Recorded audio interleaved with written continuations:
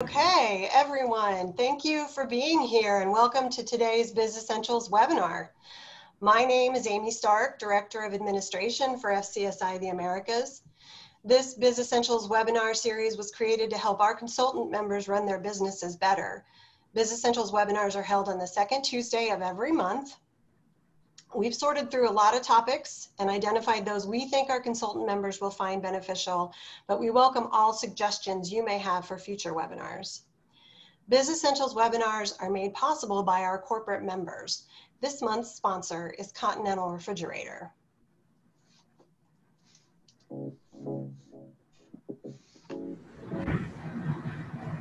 Efficient solutions with Continental Refrigerator recognized for innovation in energy efficient product design and an outstanding commitment to Energy Star education. Our systems combine innovation and versatility with the Continental refrigerator quality you've come to expect. Continental is not only building better units, but also smarter products, providing greater energy efficiency and reliability. In addition to converting to a greener alternative, R290 hydrocarbon refrigerant, we have researched, tested, and built into our products the highest quality, energy efficient, and sustainable components such as compressors, condensing fans, condensing coils, expansion valve systems, evaporator coils, and motors. Continental Refrigerator also prides itself in delivering feature rich, flexible solutions that provide real operator benefits right out of the box.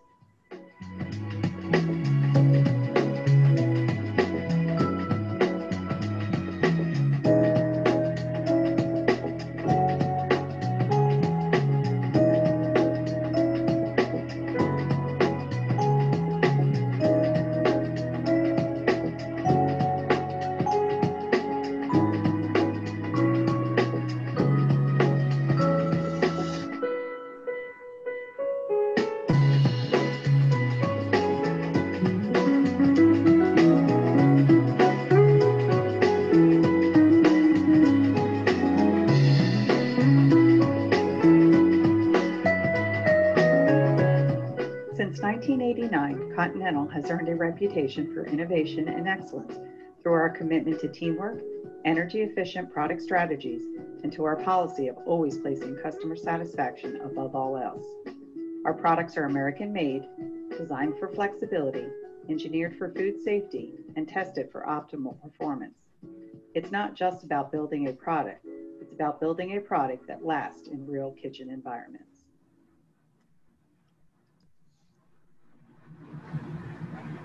Thank you so much, Continental, for your support this of uh, this was this week's webinar. Um, if your company would be interested in sponsoring a future webinar, please visit the webpage listed on the slide. So, I am so excited to be here with today's panelists. The discussion will be moderated by Karen Malody, FCSI, Karen has been a food service professional for 45 years, beginning with a cooking school and catering service. She founded Culinary Options in 1997 after leaving her post as food, beverage, and menu development director at Starbucks headquarters. Her goal with all clients is to help them gain clarity on what it is they are trying to create, and as a result, how to best manifest success via concept, menu, and positioning strategies. Her work with ideation and visioning sessions at the start of projects, digging deeply into the intended conceptual frameworks, is unique and helps stakeholders remain focused and in alignment throughout a project. Welcome, Karen, and all of our panelists. Thank you very much, Amy. Uh, and feel free to put the first slide up. Um, uh, and uh, well, actually, let's introduce our panelists first so everyone can see them. And uh, you know, 45 years. Wow, I must. I think I started when I was 12. Uh, so welcome uh, to everyone on on this uh, webinar. please remember, you can do Q and A. in that section of the webinar, and Wade and Amy will be fielding the questions. Uh, this panel has remained uh, dedicated to this topic with me for over two years. We have had to cancel twice, three times actually, and we're delighted to be able to do it today. So I would like each panelist uh, uh, to please introduce themselves because you are all great professionals uh, in, in our industry. Todd, why don't you start? Sure, happy to. Um, good afternoon, everyone. Thanks for taking some time from your day uh, to be with us today. Thanks, Continental, for your sponsorship. I'm the new guy on the panel.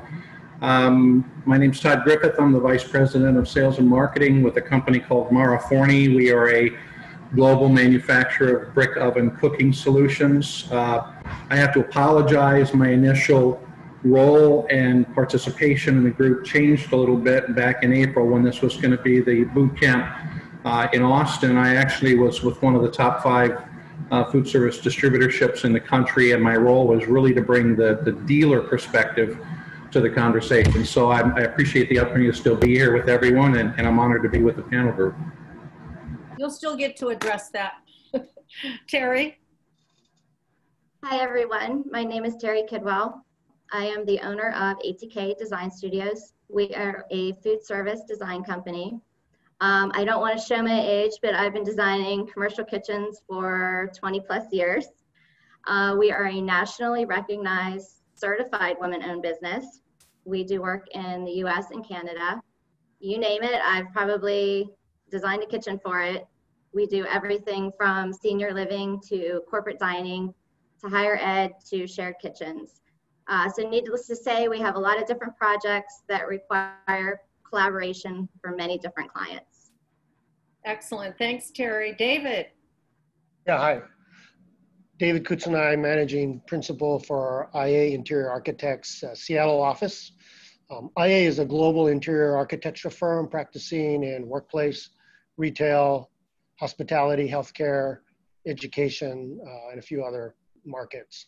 Um, I've led uh, efforts for multi-location clients such as Amazon, Microsoft, Expedia, Starbucks, Uber, JPMC, Verizon, to name a few. Um, and many of those projects included um, boutique, beverage, uh, restaurant, pop-up retail, and corporate food service venues. I'm happy to participate on the conversation today. Excellent. Thanks, David. I look forward to your perspective as an architect. Mr. Benson? Well, hello, Karen. Well, first of all, everybody needs to know it's Karen Malody's birthday today. so let's just start. Let's just start there, okay? I'm not going to ask all 80 attendees to sing to you, but um, they're singing on mute. So yeah, Karen, thanks for having me on the panel. My name is Russ Benson, founder and CEO of Day One Hospitality Consulting. Uh, our firm uh, assists clients with uh, master planning, operator assessments, quality assurance assessments, guest experience analysis, and facilitation of RFPs to uh, either source a new operator or retain the current operator for the client. I've been on the consulting side for seven years. Prior to that, I was on the food service operator side for eight years and then a client liaison for 10 years prior to that, and then seven years of uh, hotels and restaurants. So um, uh, I've sat in uh, many different seats and I'm glad to share my perspective today. Great. So you've had various uh, uh, uh, versions of who the client is throughout your career. That's for sure. Excellent. Okay. Well, let's go ahead and go to the first slide, uh, Amy. And uh, you know, my my first uh, thought about this two and a half years ago, when I submitted for, the, I believe, the NAFM symposium, was uh, "Where's Waldo?" And uh, I thought that this this represented um, uh, a very important uh, element of what we all face today in the food service industry. Some might call it fragmented. I think at times I agree with that. And really, the goal of this panel is to discuss how that fragmentation occurs and what we can do about it. When I first uh, heard a fellow design consultant in FCSI several years ago on the planning committee for the for the uh, that was held in Minnesota, um, he said, "Boy, you know these these projects are so complicated today. One wonders sometimes who's the client." And I thought to myself, what an odd thing to say, because at that time I was mostly involved with smaller commercial projects, and it was very obvious to me who the client was. It was the operator owner. Now that I've become far more um, uh, involved in non commercial in the last 10 years, I now understand the question of who's the client and where's the client uh, throughout a project is a very key point of discussion that I have hoped to have uh, for many years, actually. So Amy, go ahead and advance. Um, we put together as a panel, and this by no means probably covers everything. And I'm not going to dwell on this because we're going to come back to it very shortly. And I'm going to ask everyone on this panel to address who they think the client is and who they end up dealing with throughout a project. But when you look at a list like this, which is not an atypical list for many non-commercial projects, you begin to see just how many stakeholders are involved in a project, how many viewpoints there are, and how potentially not all stakeholders are in alignment with each other uh, at the beginning or throughout a project. So we're going to get back to this in a second. So go ahead, Amy, and advance uh, the slide. Why are we having this webinar? Well, we're having this webinar because I think it's a critical topic to helping our industry become more collaborative and, and deliver more successful results uh, with our, our projects uh, and more satisfactory uh, results. The Project Management Institute research tells us uh, that 60% of projects do not deliver to the client vision or achieve optimal results that might have been expected from the project. Their, their reasons, uh, as they did their research, the ones that came forward were three, the project stakeholders are not in alignment, the project stakeholders do not understand each other's roles, or third, have entered the project late without any explanation of what the, the vision uh, initially was. Uh, key definition of stakeholders is those with vested interest in the project outcome. And David, I know you're going to address how important it is to figure out who those people are early on. The definition, and I think this is an important definition, and I looked up many versions of how do you define client. The person who defines and sets the parameters for the services of the project, who owns the project at hand and pays for the service. So one solution uh, would appear to be that all stakeholders must, from the outset, hear the same directives regarding goals and processes and budget from the client, project client. Okay, so there's that key word, client. All right, go ahead and advance, um, Amy. So it would appear to me and to this panel that some of the key questions before us as we go through this webinar, do we need to get better at identifying the key client and their vision or, and, do we consider all the stakeholders in a project as the client? Or, and, do we need to get better at being collaborative team players for a shifting client and stakeholder group throughout a project? Okay, with that, Amy, let's bring that, that busy slide back up. And um, David, uh, simply because many people uh, on this webinar, uh, designers, get their work from architects. I would love for you to start this discussion uh, because you, you have some very critical viewpoints on this.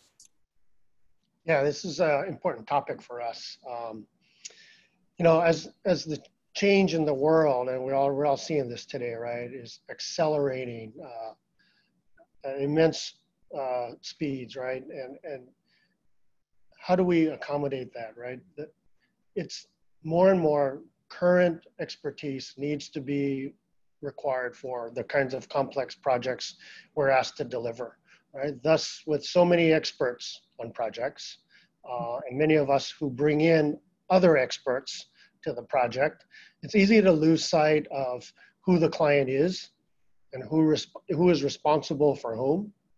Uh, in addition, most of our work on our side for us uh, in the corporate realm um, has multi-headed, multi-tiered clients on their side, right?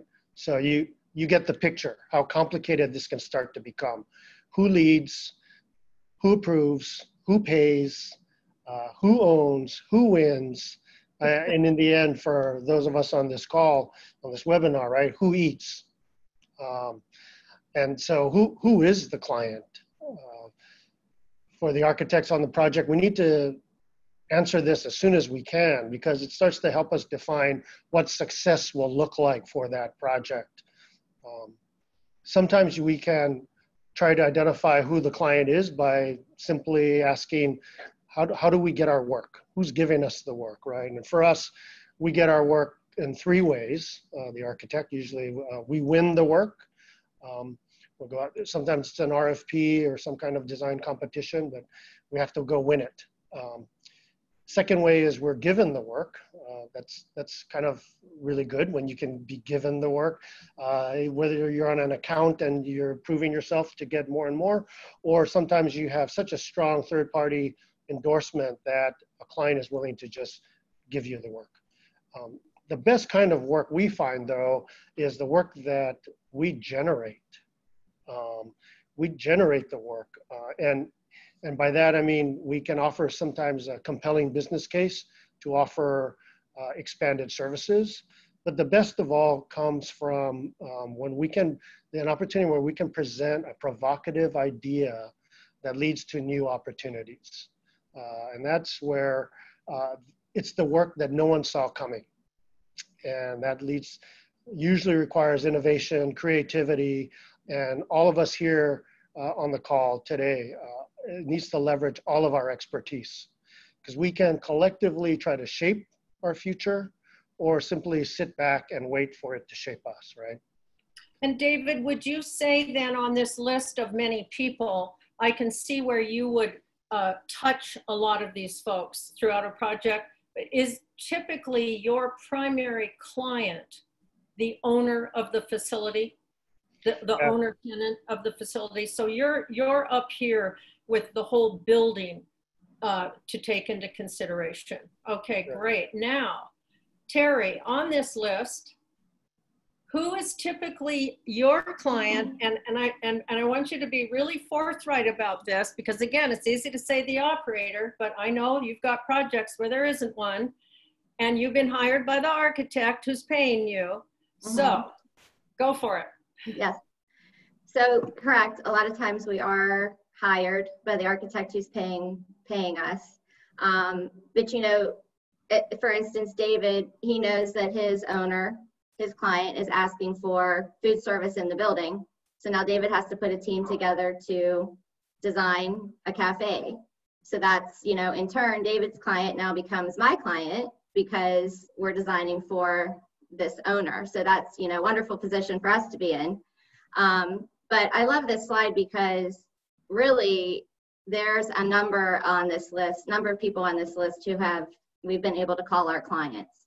Um, and I like to use the funnel analogy because if you can imagine this funnel and you're you know you're pouring in an owner's culture, you're pouring in the architect's vision boards, you're dropping in the operator's uh, menu and concepts and coffee ideas, and then you have the even have the building that's influencing. So all of these are informing the food service component for us. So then we as kitchen designers, we're filtering all of this. So then at the bottom of this funnel, you know, we produce a design, a kitchen design that's hopefully aligning with all of these, you know, goals and direction that's provided to us. Okay. Wow.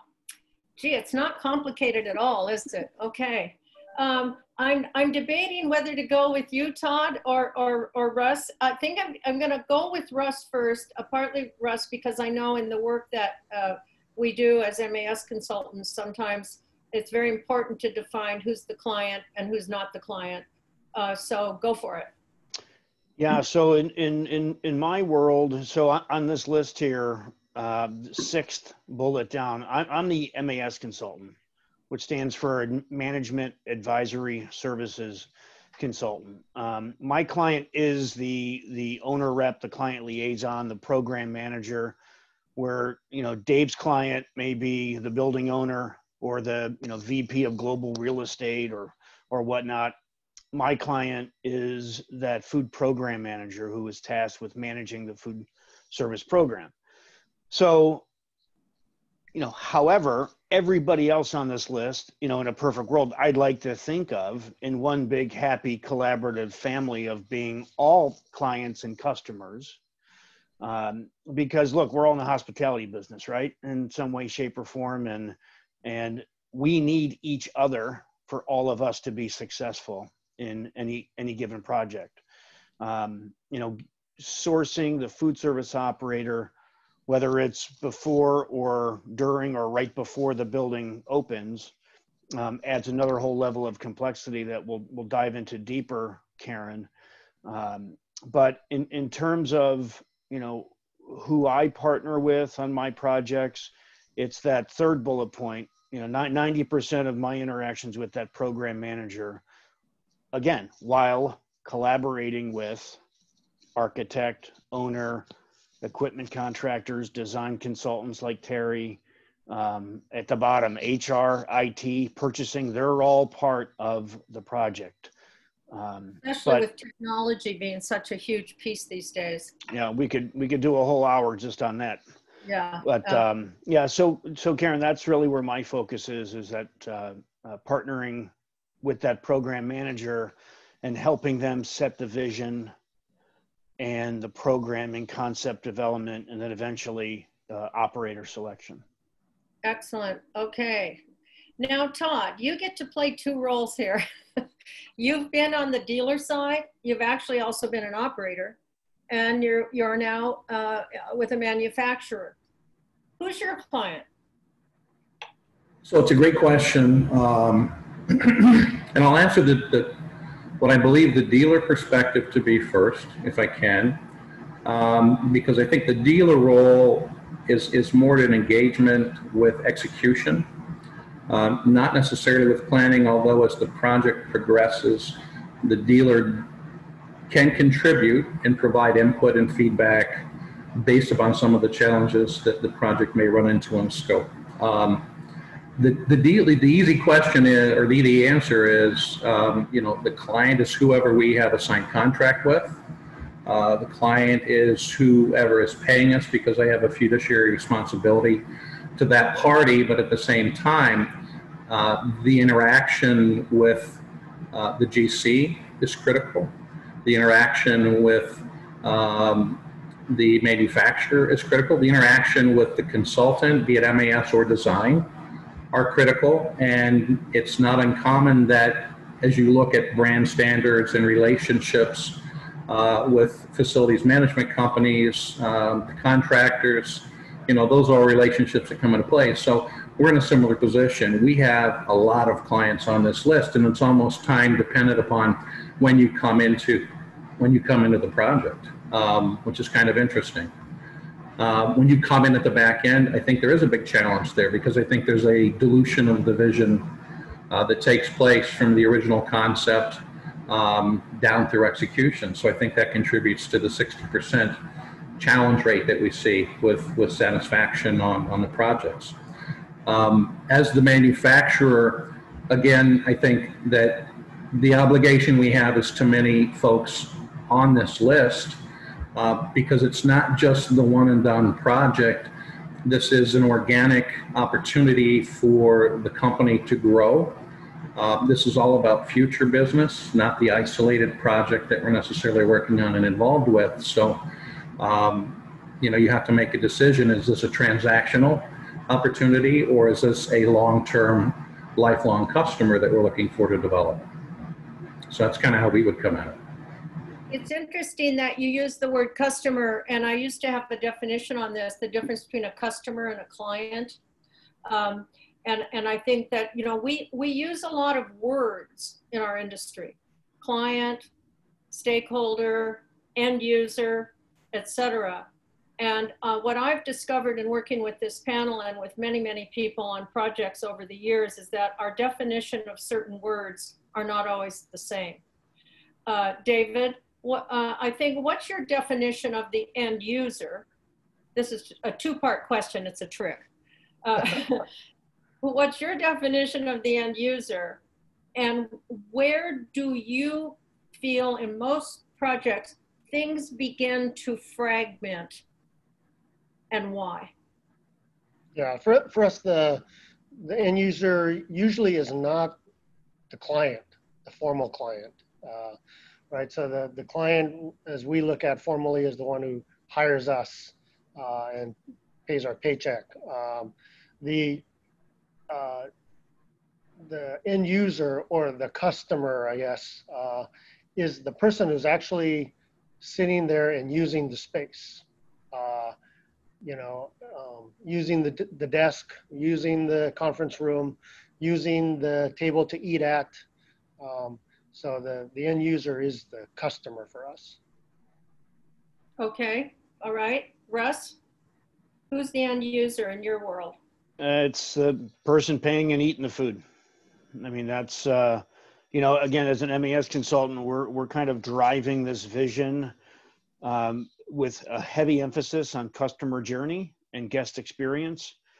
Uh, that's through, you know, again, menu development, concept development, uh, peer review on design. Certain, you know, MAS consultants are not design consultants, but we we add value in peer review. Uh, so yeah, that end user, that's the lighthouse for us that we always have to keep um, in our crosshairs because you know, the, the whole process of you know, again from visioning to operator selection um, is is intended to be in the best interest of the person who orders a turkey sandwich and pays for it. And how about you, Terry? so yeah, for me, um, you know, the end user is actually I see as two different people um, because it has to be functional for an operator to use. So we have to design a functional space. Uh, and we want the cafe to be an enjoyable experience, as Russ is saying, for you know the consumer, the, and and David, the person that's the customer that's eating at the cafe, right? Because that those folks are coming here to eat every day, but the operator's coming here to work every day. This is their work environment. This is the place that they need to feel comfortable, where they need to make and prepare the food. So you know, to me, it's both of them. And, you know, with kitchen design, it, it really is the ultimate form and function marriage, right? It has to be more functional and it has to have a nice form. For, you know, right. Which must be a challenge when there isn't an operator or a concept or a menu. I mean, that's, that's tricky, isn't it? Yeah. Yeah, it can be, but I mean, we, you know, we pride ourselves in designing for flexibility. And so you know we use our experience to produce what we what we lovingly refer to as universal layouts. Because you know no matter what every operator is different and every chef is going to be different. So if you if someone's reviewing a floor plan there will always be someone that likes to do it a certain way. Uh, as we all do like your kitchen at home right? You, you like your particular layout um, but once an operator is brought on board we do our best to make small changes if we can, you know, to help that process. Well, especially with all the innovation and equipment these days, I would think it gets more and more challenging to know where to introduce certain smart equipment, multifunctional equipment for space reduction, uh, et cetera. Uh, now, Todd, uh, talk to us a little bit about who your end user is. Again, from the perspective of the manufacturer now, and who your end user was when you were on the dealer side.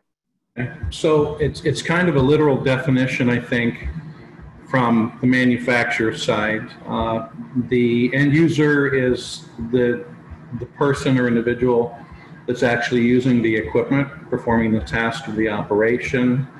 Um, we become a support role uh, post installation so that the experience can be delivered. And that's where I kind of separate, to Terry's point, the customer versus the consumer because they're two very different things. Obviously, the goal of, of the concept is that we enhance a consumer experience uh, and we maximize that because that allows for success of, of the project and, and the long term outcome. Um, but, but my operator are the, are the, the contract management companies the the site management team and the folks that are actually hands-on working with the, equipment to deliver the product to the consumer. Um, I think on the dealer perspective there, um, it, it's fairly similar in terms of, of the definition and the scope.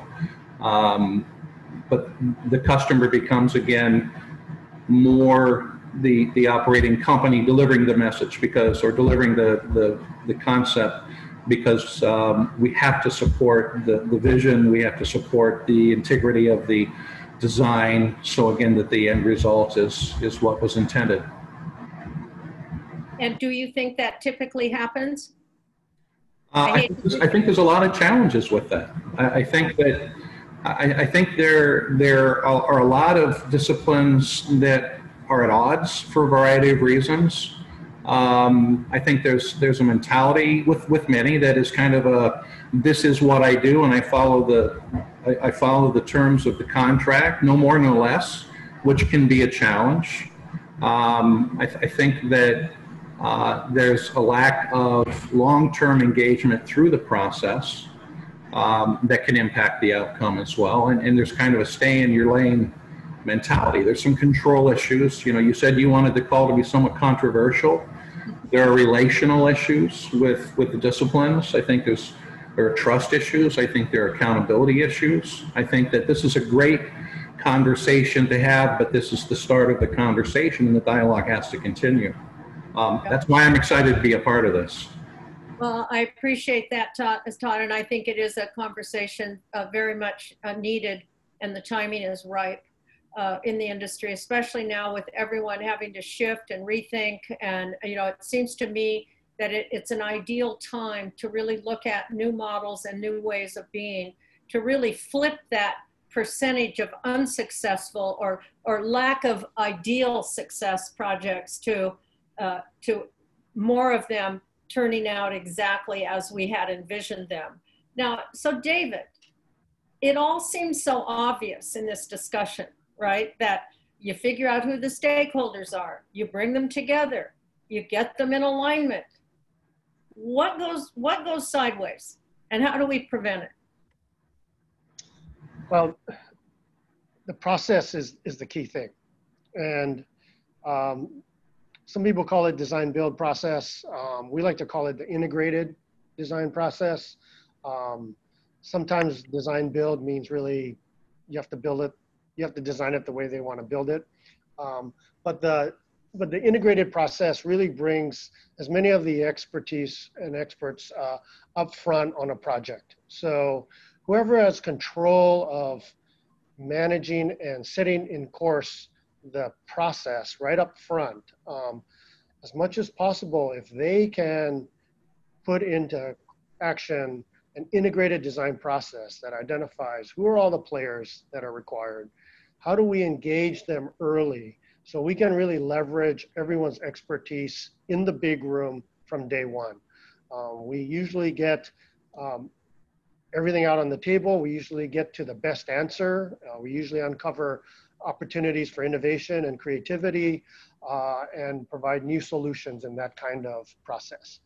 Versus a design bid, usually you're starting to string along and engage the experts one after another, after another, after another.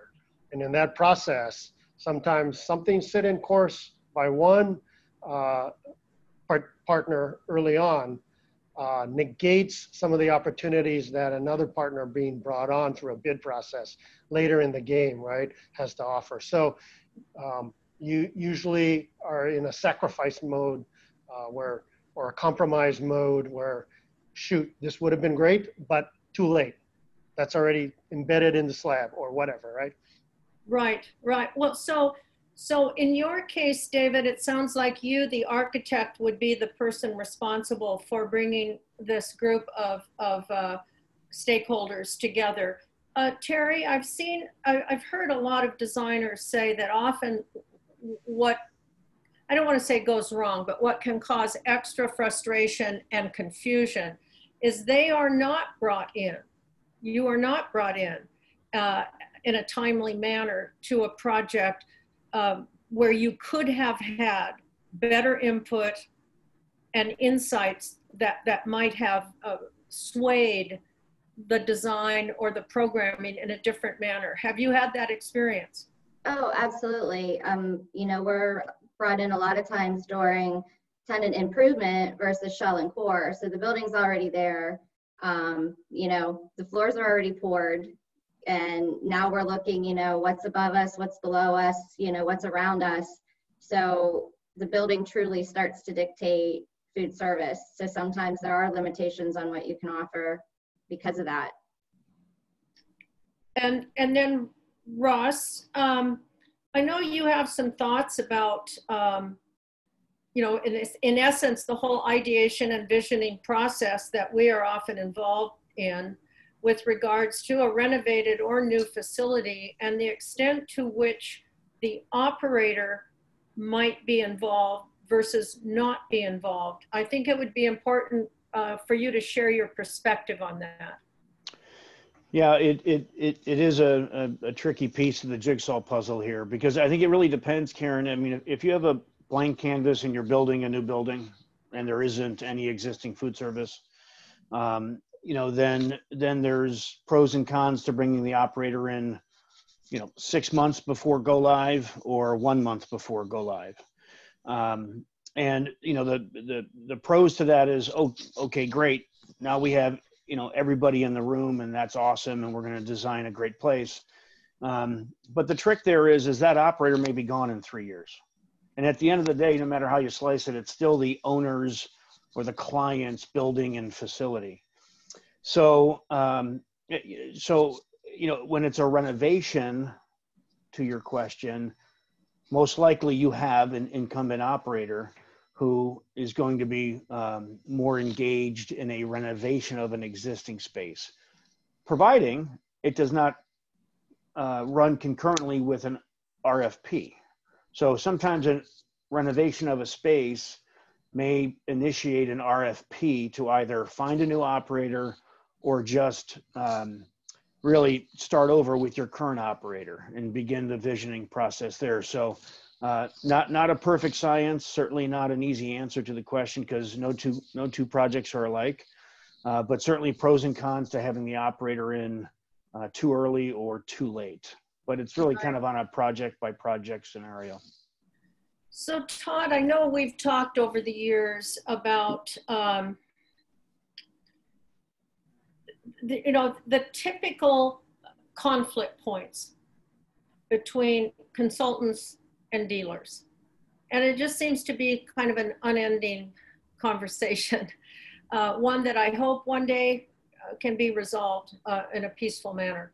Uh, but given that, and, and that you have had that experience also, where, where do you think in a, within a project, the confines of a project, where do those conflicts typically come up?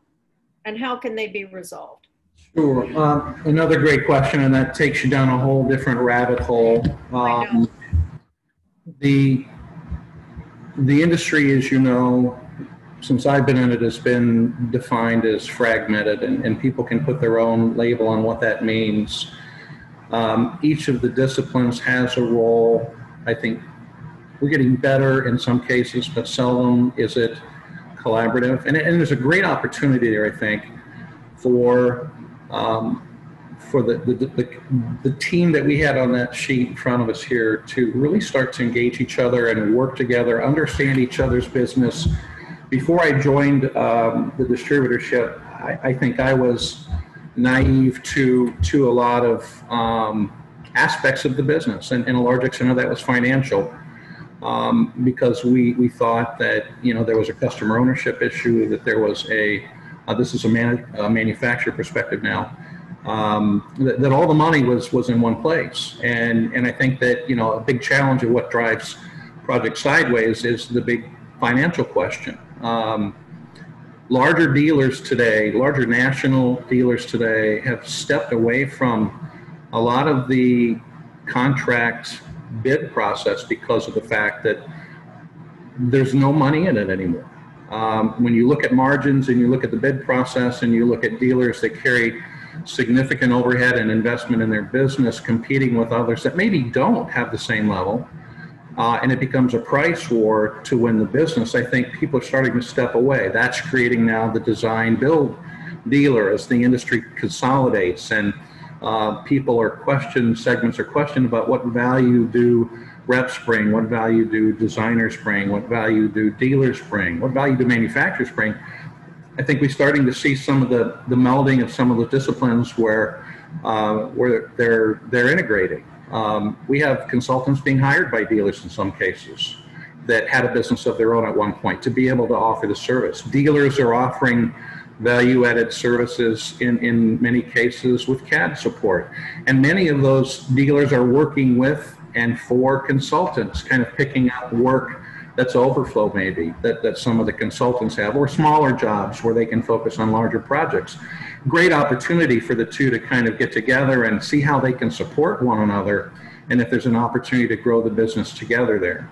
Um, but when money becomes the driving factor of, of me walking away at a profit or a loss i think that the challenge later in the scope of the work becomes can i substitute you know, as a dealer? Is there a product that will fulfill the same function as a commodity that maybe I can do better with another manufacturer? And that's when you start to see, I think, the integrity of a lot of the projects go sideways. The challenge is we base everything on the price today. We, we you know, I hate the two letters VE. I've always hated VE, uh, value engineering. Uh, and, I, and I realize it's become a standard component of just about every project out there, not always driven by the owner, not always driven by the consultant.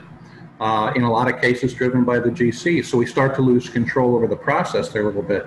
But uh, when when we have to look for um, ways to find money, um, that that creates a challenge. I remember being in a, a, consultant's office in upstate New York, looking at a picture he had on the wall, and it was a yacht, and at the back of the yacht was a small dinghy tied to the back of it, and on the dinghy was a sign that said original contract and on the yacht was a sign that said change order. Um, that doesn't help the cause, that doesn't help the vision. Um, we've got to find a way to bring value back. We've got to find a way to de emphasize uh, the, the, the money and, and do due diligence to quality. I mean, I think every design consultant on, on the, on the uh, meeting here knows who does a good job, knows who has a great reputation, knows who can execute, execute their work and their vision um, and because it's an open bid process, that creates some of the challenges. Oh boy, what a, what a challenge we have. And, and again, uh, you know, Amy, I want to thank FCSI for the opportunity to bring this conversation uh, uh, to people. Uh, I think that this is literally something that probably needs a series because you can see how much depth there is uh, and how much cr critical content there is in this discussion. Um, and I'm, I'm thinking that uh, we would love to hear, are there questions coming in? Okay, so before we take them, real quickly, I want to go around to each of you. And if you could, in a very few sentences, how, how, what's the solution here in an ideal world? What would you say, David? What do we need to do to you know, turn this, this corner of 60% mm-hmm. not meeting expectation? Yeah, it's, um, I think a lot of us usually when we have that kind of question tossed at us, uh, we try to, uh, it goes quickly first and foremost to, we have to better educate our clients. They don't understand what it takes to design, what it takes to procure, what it takes to build, what it takes to implement, uh, what, what they're asking for, right? The fact of the matter is um, there, we, we had a chance to do it when their world, the client's world's change happened slower than the time it took for us to implement a project for them. Uh, that whole thing has flipped, especially now today. Their world is changing faster than it takes for us to deliver uh, a space and a venue for them, right? Uh, and so there's no, there's really no chance to to better educate them, to slow them down for the way we've learned how to do our work. We have to change the game by becoming innovative, uh, taking a quantum step here forward, and understanding the client's world, re understanding the client's world to reinvent and innovate a new process, a new way to deliver, a new way to offer food that wants to constantly change, a new way to procure all of those the equipment that's needed. Um, we, I think the task is on us now to rethink what we do. Great answer. Russ? Well, so, you know, it go, it starts with visioning, Karen. I mean, if you better have a plan, right? If, if you come in too late or if you build the plane at 30,000 feet, it's not going to fly very well. So have a plan, have a vision and, and define why do you even have food service in the first place? Is it an amenity? Is it a convenience? I mean, how does it, how does it fit into your workplace strategy? Is it going to be subsidized? I mean, you know, Right. subs- subsidy versus P&L influences menus and concepts and programming and design and operator selection, right? That's just one little uh, example of, of the importance of defining a plan. Yeah, you know, it makes a huge difference. You're absolutely right. Terry? And So Karen, like you said before, you know, a lot of times as the kitchen designer, we're onboarded later in the process. So, you know, us as a group, ATK, um, you know, we recognize that we need to help and we need to get up to speed pretty quick on projects to help make this all come together. So what we've done is, you know, we're we're working to produce checklists. It's a living document. We keep adding to it anything that comes up, and we distribute that so that items don't get missed or they're items that have been miscommunicated in the in the past. So we're trying to unveil, so to speak, some of these, you know, you know, missteps from the design side. And then we also recognize, you know, as designers, we're very visual people. So we can see a lot of times we see the space in 3D where most people they they can't see that, right? You you don't you don't see you can't read black and white floor plans. So what we do is we're continuing to refine the experience to everybody on this list on how we review documents. So for instance, you know, we're virtually walking through the space piece by piece so that you're not seeing it in a black and white format. You're literally seeing it in a 3D. You're seeing this it in the space, you know, and we're opening cabinet doors to show possible storage areas. So we're we're rethinking how we present to the clients, to everybody, so that they can understand better what they're getting. So they're not surprised when they get to the job site and it and it is what you know was on the floor plan. That's great. That's great. And Todd? Um, For me, I, I, to make it as short, would say um, all of the disciplines to take a vested interest in the project. There's so many resources and so much talent um, within the stakeholders that are all part of, of the work. And, and when you can, when you can open um, Pandora's box and, and, and, and get the, the full value of those resources, um, and everyone's engaged and collaborative, um, I, I think that the outcome becomes to the positive 60 rather than than the negative 60. Fabulous. Well, again, I want to thank you all for these insights. And Amy, let's let's take some questions. Okay, um, we have one from Christina that follows um, right on, on Todd, since you're the last one to speak. How can equipment manufacturers help mitigate common challenges? Um, boy, I'd like to get more specific to the to the question. Um, I think information that's provided, education that's provided, you know, as far as the, the manufacturer consultant, um, engagement would be to make sure that specifications are updated, that the information and the data is accurate, um, that, that application is understood as well as the physical specifications of a product. There, there are some manufacturers that, you know, as cold as it sounds, are commodity products that serve a role in, in the kitchen. Um, and there are other products that are more specific to the vision and the customer experience. Um, so you really have to kind of define the scope of, of what product is, you know, going where. But I think a lot of communication and information is, is important there. And Carrie, from a design perspective, you might want to answer that. You know, just what what makes it easiest for you to work effectively with a manufacturer? Uh, well, for us, it's the sales reps that are, you know, there when we need them. Um, and, you know, I'm going to say this lovingly, that aren't, um, aren't begging to see us every five minutes, right? Like we, when we email you and we have a question, it's, it's great to have the answers. Okay, excellent. Any more questions? Uh, uh, David, would you, do you have a perspective on that? Uh, no, is there other, another question I could tackle? if not, I'm going to have you, uh, I'll ask you one. Okay. Well, uh, we did have one, uh, and this one's for Terry. What do you find is the best tool to walk through and review service designs with the client? Oh, now I have to give away my trade secrets.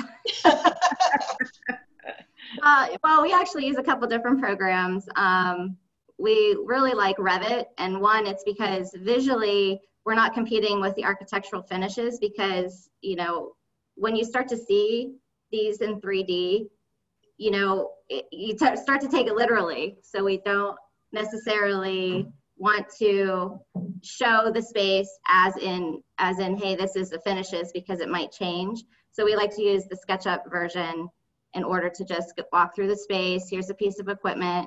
Um, you know we put that into powerpoint do pop-ups and and virtually walk through the space Any other questions, Amy? Um, yeah. Um, what kind of change in the professionals list is changing after the pandemic? Oh boy, that's a doozy and a great question. Uh, Yeah. and I know we're all sick of the word COVID, pandemic, pivot, and you name it. But David, I know you've got some, you know, you kind of addressed this really. I mean, this has changed everything in terms of timelines, et cetera. Why don't you take that one and then Russ, I'd like you to address that from an operations programming standpoint. Yeah, we're, I mean, we're, we're, we like to call it uh, aggressively waiting right now. Uh, and then we're aggressively looking at all of the different, as many different scenarios as po- possible, uh, which way, you know, the world will go. Uh, and, and probably in a lot of different directions as we're starting to find out with our clients. Um, but be ready to, to run ahead uh, when they're at the right time for them. So um, I think with it, with regards to food service, uh, a lot of our large clients are starting to rethink that and contemplate what that should be. Um, some already have eliminated that out of their um, their projects um, because it's um, they're in cost cutting measures and they think a lot of their folks will be working from home instead. Uh, Others are, are really doubling down and saying, no, the, the office or the campus is the place that they want their people to be. It will be the healthiest place. It'll be the best place. It'll be the happiest place for them to do their work. Um, and for culture and engagement and all of these other things to thrive uh, to, for productivity and creativity and innovation, people need to be together. So while there's going to be less people probably all together at the same time, uh, with choice being provided now that the world knows that people can work uh, elsewhere, um, the facility itself is going to, I think, have a lot more value. So when we start to look at the food service venues, those are key components to culture driving uh, places, right? Placemaking, experience making. And so for the food service side of the equation, how, first off, how can it be done in a safe way so that the customers trust it uh, and they come back to it? And then beyond uh, the pandemic, can it be turned into um, a lot of other things other than just food? So it becomes multi-purpose. And we're all starting to see some of that already but I think it's going to amp itself up. Uh, Okay, yeah, I, I, I, I'm glad to get that architectural perspective because again, this has impact on the entire building. Uh, Russ, what are, what are, you know, just from an operational programming standpoint, I know we've seen a lot of shifts. How would you answer that? Yeah, I, I really love what Dave said because I, I think, you know, uh, the power of food is going to have uh, more of an impact tomorrow than, than ever before. Yep, the spaces are going to shrink. Yep, 30% of people are going to continue to work from home. Uh, we all understand that, but but workplace amenities are going to be, um, uh, you know, really paramount uh, just to drive the socialization and networking from uh, inside the workplace, socially distanced in some capacity. Uh, but I also believe it's it's you know yeah we know self service is out the window right now, but I'm of the belief that it's going to come back in nine to twelve months. We'll be doing you know um, salad bars and self service again because the menu velocity reports tell us that's what people want. So you know again we can talk about the customer journey piece, um, but you know operationally, it's uh, food is going to play a big role. Dave touched on productivity you know, we know that folks spend 22 minutes more away from their desk if they eat off site. So that productivity algorithm shows a, a big ROI if you have a compelling reason to, for people to stay on site. And, and food is going to be, you know, the pixie dust that brings people back together and rejuvenates the workplace. It's uh, interesting, and again, from a both an equipment, Todd, and design, Terry, uh, viewpoint, uh, I know many of, of our design friends are, are essentially saying they haven't been asked yet by a lot of uh, major clients to, to change too much in terms of design, even for new. Uh, and yet I see every day uh, Burger King totally reinvented their design. Taco, I mean, it's endless, totally different designs, technologically driven, contactless driven. I mean, huge design changes. Uh, and I'm imagining probably as many in the kitchen, in the back of house. What is your viewpoint on design shifts as a result of COVID and post COVID? Yeah, we're not, you know, again, just like the other consultants you've talked to, we're not seeing being asked too much yet. Um, it's mostly flexibility in food shields, right? So that to Russ's point, you can go back to a self-serve model if that's what you're you know, wanting to do. Um, and for the time being, it's a served model. If it is a sal- if it is a salad bar on site, there's composed salads inside, you know, that you can still grab. Um, I don't think most people are back to work yet, so you know that it's social distancing thing. Um, order pay kiosks because you're touching things, you want to be, you know, distanced from each other. It's just strategically placing those maybe more ordering online, more ordering apps versus at the stations. That's kind of what we're seeing. But we've okay. always had a strict food service, you know, sanitation rules and stuff for food service. So NSF yeah. and health codes and. no kidding. I mean, Todd, how's how do you see uh, from a manufacturer's perspective uh, design of equipment, types of equipment, et cetera, emerging as preferential after COVID? Well, I see a lot of a lot of changes front and back of house. Um, manufacturing, to to the extent that it can, obviously wants to go as touchless as possible. Um, food safety and food handling are paramount. A lot of that's driven by best practice and, and really our, uh, our consumer now wanting to see how their food's being prepared and served. Um, there's there's been a blurring of, of some extent between back and front of house where the space continues to get smaller. Uh, that's not a, an uncommon challenge. Um, production flow and streamlining is still paramount from an efficiency perspective. Variety of food and authenticity of food is still important to the consumers. So we still will come out of COVID with labor challenges. Um, we still will come out of COVID with the same spatial challenges, I think. Technology will continue to drive uh, manufacturing and, and uh, application. So we're already kind of on a path that's, that's already going that direction. This has just brought focus back, I think, to some of those areas. Well, I'm sure, Amy, that we're, oh, I just hate this, that we're probably running out of time. And please, uh, everyone who has uh, uh, sent in a question, I know everyone on the panel is more than willing to answer those in email format. Um, very much so, all of us. Uh, because this is this is a really a critical discussion and one that has so many tentacles uh, that I hope we have opportunities to to have more of these. I, I really do. Was, is there time for one more question? I honestly don't know. No, we're out of time. Uh, we're right at time. So I'm going to go and wrap everything up. But thank you, Karen, Russ, Todd, Terry, and David. Uh, thank you, Continental Refrigerator, and thanks all of you for joining us today. We'd love to hear from you how we can improve these, so please fill out the survey that you'll get when you finish up.